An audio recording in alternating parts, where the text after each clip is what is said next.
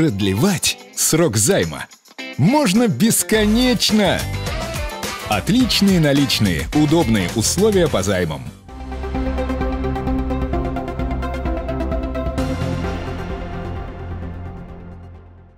15 декабря, субботнее утро, на часах 8.30 в аэропорту Кызыла приземлился первый самолет возобновленного рейса Москва-Кызыл-Москва.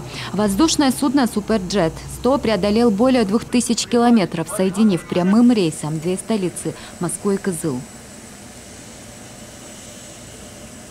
Среди пассажиров много людей с детьми. Как говорит Азиана Мангуш, у прямого рейса, безусловно, много преимуществ. Но самое важное – это экономия времени. Так-то хорошо, что сокращается время ожидания долгих ожиданий, перелетов. Удобно. Сокращается время пути. Как говорит Шалбан Кужугет, исполняющий обязанности директора Кызылского аэропорта, большая и основная работа, касающаяся прямого рейса, уже позади. Но впереди еще стоят задачи по наращиванию продажи билетов. Я думаю, что со временем это все уладится первое. Второе, что касается безопасности полетов, естественно, мы, аэропорт и авиакомпания, это совместно э, все вопросы порешали, но еще предстоит очень огромная работа по обеспечению обслуживания данного типа воздушного судна. Я думаю, что со временем э, мы будем нарастать увеличение рейсов по частоте в неделю.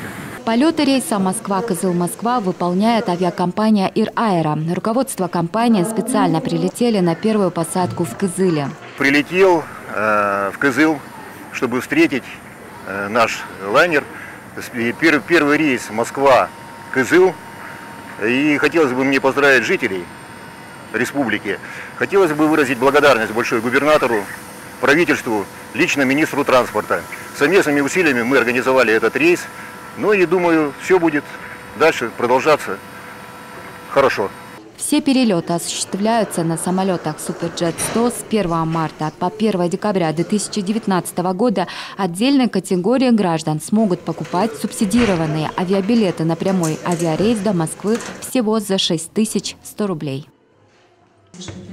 Сегодня в главном корпусе ТВГУ прошла пресс-конференция в честь главного спортивного события «Эстафета огня зимней универсиады-2019», которая стартует уже завтра, 18 декабря в 12 часов с Национального музея Тувы. Для нас была такая большая честь принять, э, быть в числе федеральных городов, которые принимают э, эстафету огня но все, наверное, в знаете, что мы изначально не были, конечно, э, в федеральном проекте, но э, по большой работе, проведенной работе главы республики Калашева Павла Валерьевича, наш город, наша республика была включена дополнительно. Стоит отметить, огонь зимней универсиады в Туву прибыл из Томска. Дальше он направится в Хакасию. Вся же география пути главного символа международного спортивного мероприятия достаточно обширна. Казахстане, мы были в Китае, мы прошли уже 15 городов федерального этапа, мы практически всю Европу проехали, мы были на Дальнем Востоке, мы были на Урале, мы прошли 5 городов Сибирского федерального округа, теперь мы у вас. Также Стелла Алексеева, заместитель генерального директора исполнительной дирекции 29-й Всемирной зимней универсиады, с гордостью рассказала, что факел эстафеты огня был разработан красноярскими специалистами. Это уникальное сооружение, да, там осуществляется подача огня, но еще раз повторю, что те города, которые мы прошли, а мы прошли и мороз 26 градусов, ну для Козлова, конечно, это не мороз, я понимаю, а, но мы прошли испытания ветром 25 метров в секунду, это был Калининград и проливной дождь, мы прошли испытания морозом не сильным, а мы прошли испытания, ну, наверное, не испытания, а такую сказочную погоду, совершенно сказочную погоду в Томске. Когда шел снежок, и наш факел не подвел, он у нас горел замечательно. Да, мы всякие интересные вещи придумаем, чтобы у нас был в тепле, а он должен быть в тепле, чтобы исправно работать. Общая протяженность пути всех 17 тувинских факелоносцев составит 3900 метров. Старт начинается в 12.00 от Национального музея и через час финиширует на площади Арата, где пройдет кульминация торжественное зажжение городской чаши огня.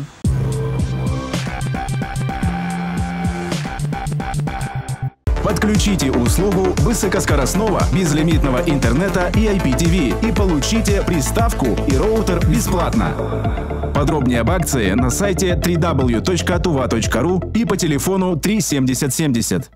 Красота притягивает взгляды. И подарки. Купите красивую шубу и выиграйте новый немецкий автомобиль. Белковятские меха. С 19 по 25 декабря. ЦУМ.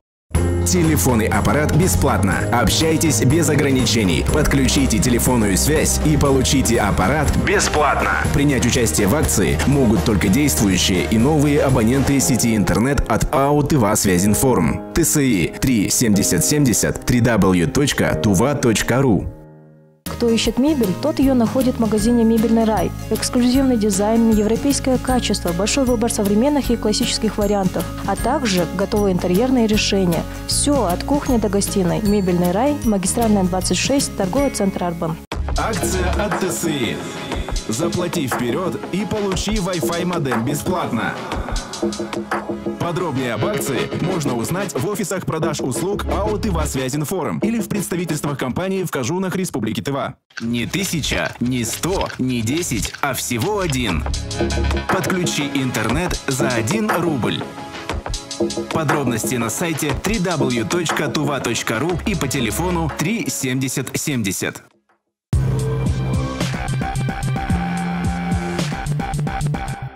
До эстафет огня остались считанные часы. Всего на протяжении трех километров факел пронесут 17 человек, выдающихся людей республики. Маршрут огня пролегает от Национального музея по улице Ленина, близ архитектурного сооружения Центра Азии, храм Циченлых, затем возвращается на площадь Арата, где будет зажжена чаша.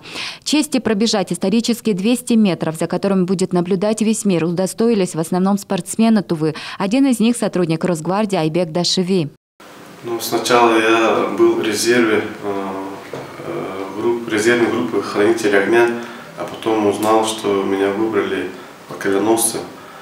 Я очень обрадовался. Э, и самой побегут тоже хранителям огня, мои коллеги из Росгвардии, чему я успокоен, но все равно есть волнение, это ответственность Напомним, 29-я Всемирная зимняя универсиада состоится в марте 2019 года в Красноярске. Эстафета огня студенческих игр стартовала в сентябре 2018 года в итальянском городе Турине. В настоящее время продолжается российский этап эстафеты «Огонь» встречают в сибирских городах. На территории скульптурного комплекса «Центр Азии» к Новому году и празднованию 2019 года по восточному календарю прошел третий открытый фестиваль-конкурс ледовых скульптур «Ледовая сказка в Центре Азии». К участию в конкурсе отобраны команды, сформированные из профессиональных художников, скульпторов, архитекторов, художников-любителей, скульпторов-любителей, студентов и преподавателей художественных вузов Тувы. По условиям конкурса мастера из ледовых глыб должны украсить территорию скульптурного комплекса «Центр Азии» вокруг обелиска и фигур скифского царя и царицы, поэтому большинство участников конкурса решили дополнить ансамбль ледовыми фигурами сказочных персонажей. Так, по итогам конкурса победители были награждены памятными дипломами и денежными премиями. Как сообщает ГИБДД Тувы, в Кызыле во время проведения эстафеты огня универсиады будет перекрыто дорожное движение. Так, 18 декабря с 6 до 15 часов по улице Ленина от пересечения с улицы Чехова до пересечения с улицы Кахем, по улице Чульдум от пересечения с улицы Ленина до пересечения с улицы Красных партизан.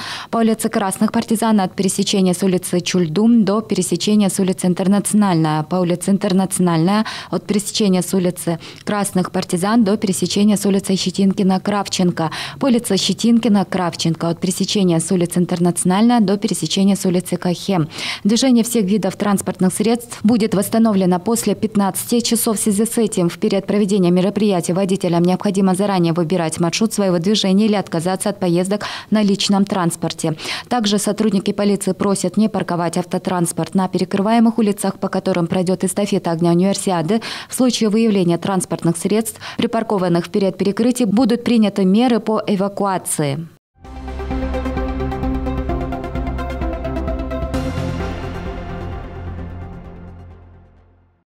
Хатика, выздоравливай. Мы в тебя верим. История собаки с выколотыми глазами повергла в шок практически всех жителей республики. Несмотря на все усилия ветеринаров и зоозащитников, пес умер, не выдержал человеческой жестокости. Хатика не единичный случай. Кто-то выбросил новорожденных щенков, а кто-то и вовсе отказался от верного друга, который прожил с ним более 10 лет. Есть и случаи наезда на собак. Большинство автолюбителей просто-напросто оставляют животных на дороге умирать. Эту собаку постигла та же участь. Он страдает от полученных травм. Ведь тот, кто называет себя человеком, сбил собаку и даже не потрудился остановиться и проверить, жива ли она. К счастью, для пса на помощь пришли волонтеры группы зоозащитников «Хатика». Иди колени, иди с колени, бойся. Иди с колени, бойся. Напомним, что согласно правилам дорожного движения, наезд на домашнее животное тоже является дорожно-транспортным происшествием. Скрытие с места ДТП карается лишением права управления машиной на 12-18 месяцев или заключением на 15 суток. С начала 2018 года в республике произошло 48 дорожно-транспортных происшествий в виде э, наездов автомашин на животных. А, при этом в 10 таких автовариях пострадали также люди, которые находились в салоне транспортного средства. Этих малышей собрали в коробку и просто выбросили на улицу. Человек, который сделал этот поступок, не задумывался о дальнейшей судьбе щенков. Их подобрала Надежда Потылицына, которая принесла в ветклинику Айболит. Кстати сказать, подбирать выброшенных животных на улице девушки не впервой. На счастье, Надежда вспомнила про Кызылскую организацию по защите животных тематика, помогающую пристраивать в добрые руки бездомных животных. Резко негативно отношение такое у меня, что можно как-то... Э, есть сейчас стерилизации, которые с большими скидками идут, то есть, можно сказать, почти бесплатно можно принести, простерилизовать животное, э, чем вот так вот выкидывать, и чтобы их еще больше было. В том, что щенки уже вытянули свой счастливый билет, можно не сомневаться. Самое главное, все они остались живы, и сейчас им не угрожает медленная и мучительная смерть от голода и холода. По словам ветеринаров, жизни щенков ничего не угрожает. Их вовремя доставили в клинику Айболит. К слову, общество защиты животных Атиков ветклиника Айболит проводит акции по льготной стерилизации животных. Волонтеры, конечно, не всех подбирают, но что в их возможностях они подбирают. Потом приносят к нам на лечение мы их обрабатываем, вакцинируем и стараемся пристроить. К сожалению, всех мы пристроить не можем, поэтому надо как-то донести до населения, что самый такой метод – это у нас стерилизация, кастрация. Наш ветеринарный кабинет э, стерилизует, кастрирует животных вместе с хатика по акции. Хорошие у нас скидки. Лучше простерилизовать одну собаку, которая может принести по 7, по 8, 9 щенков. Это не в год, а два раза в год даже может принести. От этих щенков еще больше. Поэтому лучше стерилизовать и кастрировать, чтобы снизить популяцию бетонных животных. Мы в ответе за тех, кого приручили. Слыша такие истории, эти слова хочется повторять вновь и вновь. Чтобы таких историй было меньше, задумайтесь, может все-таки стерилизовать своего питомца.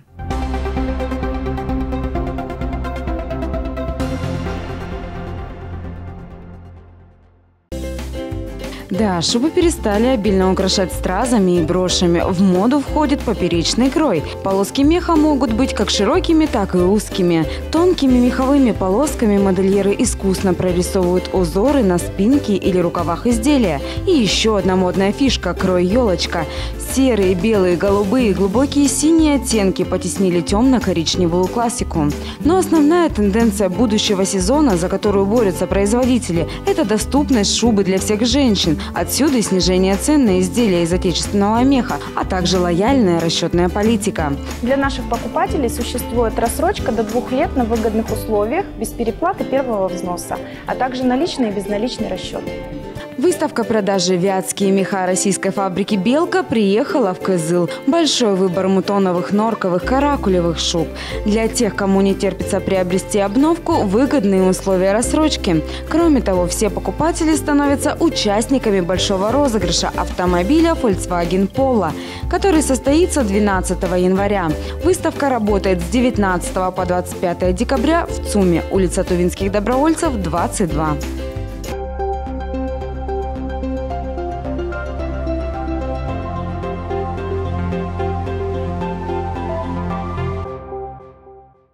Спонсор прогноза погоды – компания «Отличные наличные». Компания «Отличные наличные» рада видеть вас в любом из своих офисов более чем в 80 городах России, от Камчатки до Калининграда. Компания «Отличные наличные». Получайте займы на займ-карту в любой момент, просто по звонку.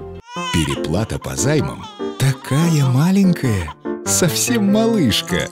Отличные наличные, но очень маленькая переплата по займам.